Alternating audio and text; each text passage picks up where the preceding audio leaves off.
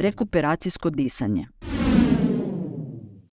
Nakon zarona na dah, tijelo će imati manjak kisika, a višak ugljičnog dioksida, pa ćete morati izvesti rekuperacijsko disanje.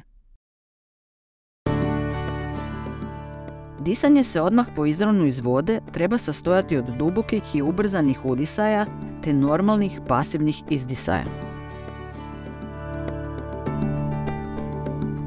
Prva faza ubrzanog disanja ne smije prelaziti jednu minutu. Vrijeme između dva zarona na površini mora biti dovoljno za vaše vraćanje u normalno stanje, rekuperaciju.